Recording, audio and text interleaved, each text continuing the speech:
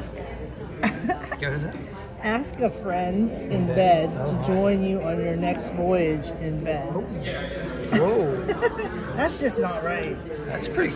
That's pretty risque. That's a real bit risque.